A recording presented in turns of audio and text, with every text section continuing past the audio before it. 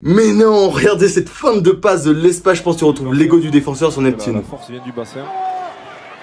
Faites le passe magnifique, attention ce que fait Baptiste Sorel. Il a réussi à s'échapper. Est-ce qu'il a du soutien? Il a ses avants, il continue, il poursuit. Il poursuit le pied, l'extérieur, le pied. Wayne Nicolo peut-être pour le doubler. Wayne Nicolo à la bataille avec Pellissier. Le ballon, il va sortir, dommage. Bam Voilà. Voilà. Derrière, je mets de gaz et.